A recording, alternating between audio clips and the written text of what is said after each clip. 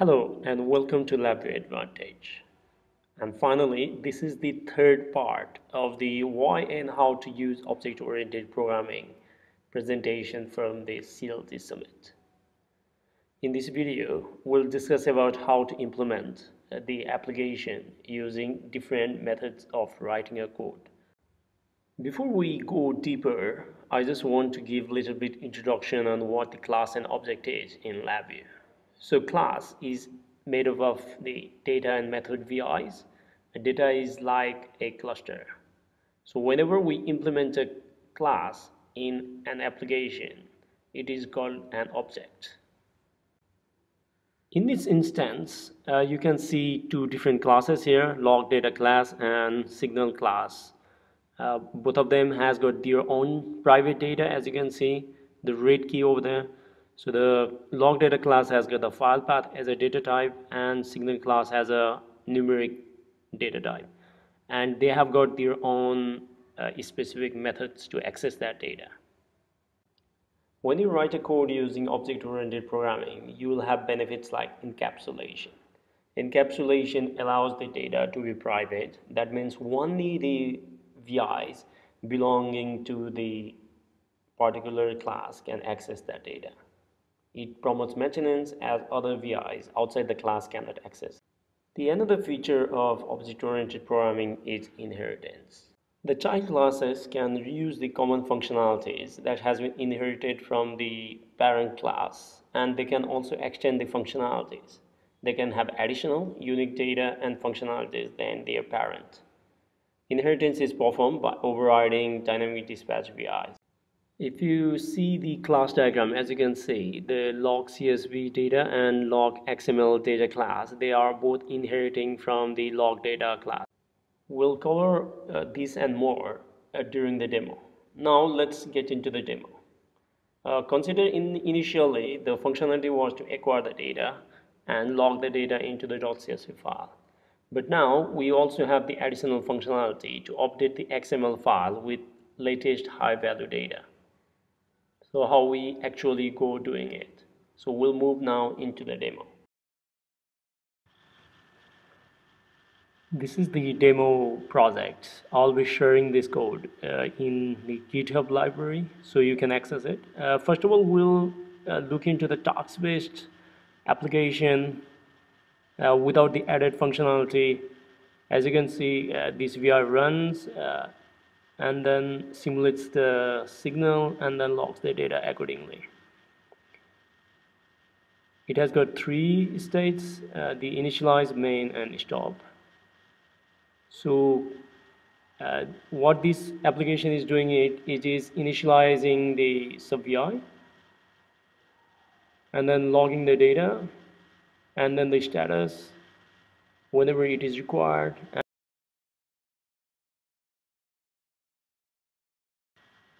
As you can see this code is very problem specific so you cannot actually reuse the code.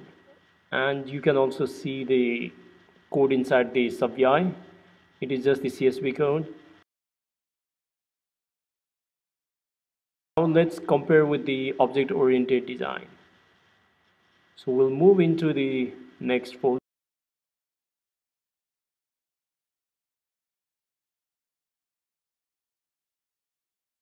and as you can see the functionality does not change. It remains the same. This is what we're discussing about the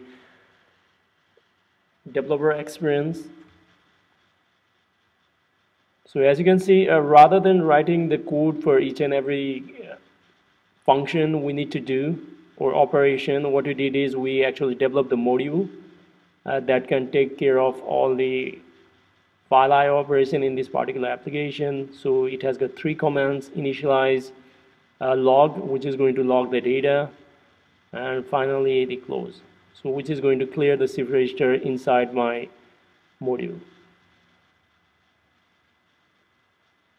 So in this case, uh, before I actually log the data, I, module, I initialize my module and log the data whenever I need it. and finally uh, once I'm done I'll close the module so in this way my code is highly reusable. I can reuse this code into the different kind of application. And not only that I can modify only the internal content of my code. Uh, similarly I also have two different modules to handle uh, different kind of generating the signal and performing some operations so that I can reuse it again and again. Uh, the specific difference between the previous code and this code is basically the data and methods are provided the responsibility object-oriented design module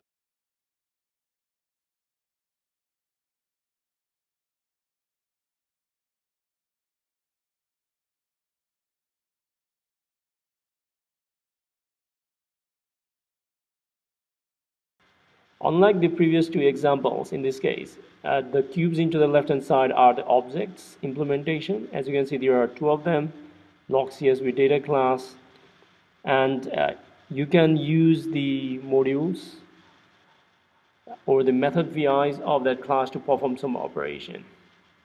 So if you open this one, it shows two different implementation of that one.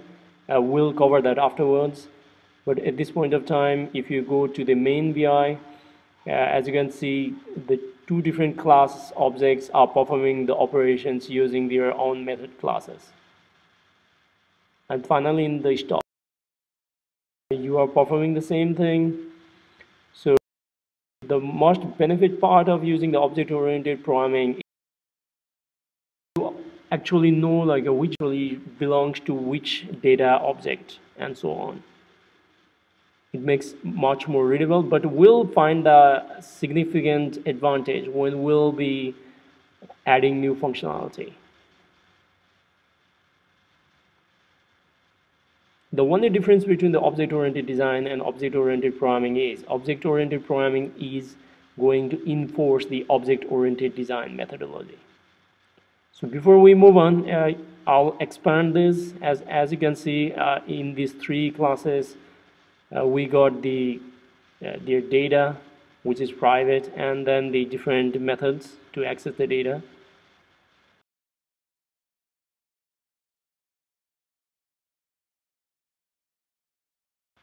Uh, so let us go with the added functionality. In the added functionality as we discussed before uh, we just have to log the maximum value in the XML file rather than the CSV I'm not going to run the functionality because it's the same thing same application only the added functionality. So when we had to add the functionality to the task based programming what we need to do is we need to add a new code over there and it will make more problem specific this is the code for the XML logging so I'll close that one I'll show you that code again.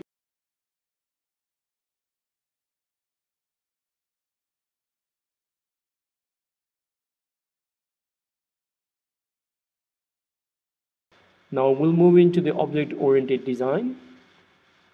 If you look very carefully, we created another module for the XML file as well. So in the beginning, we initialized the XML file module. As you can see, it has got three commands. So it will log the data whenever the status is high.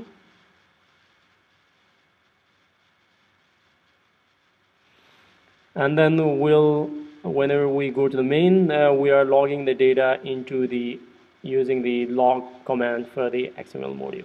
And finally, we'll close the module. Again, the functionality does not change, it remains the same, but the your readability and then the maintainability of your code improves significantly. Uh, finally, we move into the object-oriented programming. Uh, before we open, I'll show you we have added a new class here, which is called log XML data class.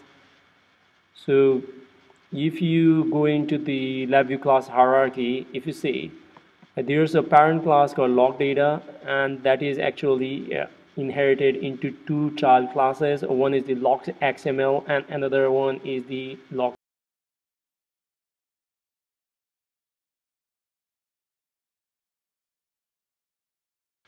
and uh, you can also see that like a log like data class the parent class has got a vi called log data and the child class also has got the vi called log data if you open the log data of the parent class it is just the abstraction vi that basically means it does not contain any code.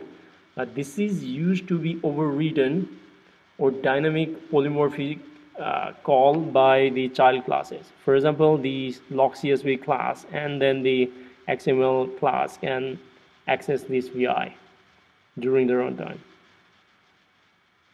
and similarly I'll show you the log data of this one. Uh, but the requirement is like uh, when you are performing the overriding or the dynamic polymorphism uh, the connector pane of the parent class VI and then the child class VI should be same. So you close that one okay. And now let us go to the object oriented demo so if you look very carefully, like uh, this is the initialized state. As you can see, we just added one functionality over there.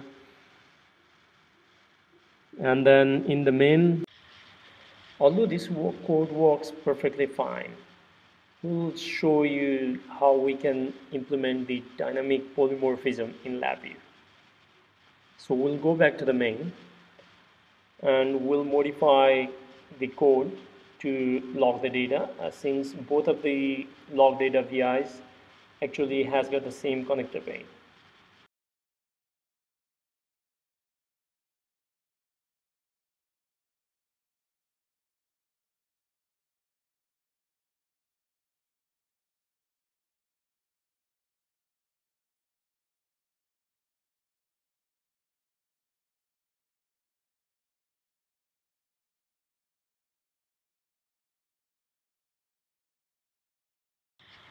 Now we'll build an array of these two class objects and then pass it through to the log data method VI. When we connect, we'll see that it has been changed to the parent class VI.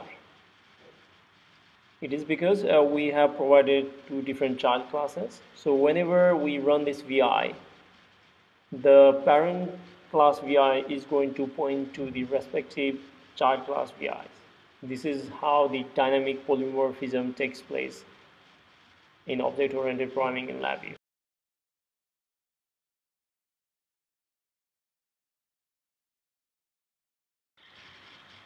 Once the code is complete, we'll run the VI and then see the results.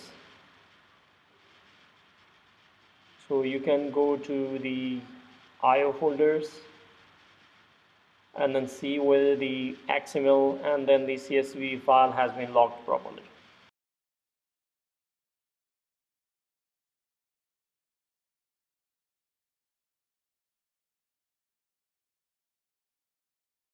Next time we'll be covering when to use the object-oriented programming and then the brief comparison between the task-based approach and then the object-oriented programming. I hope you like this video. Please like, share and comment on this video. And please do not forget to subscribe for future lab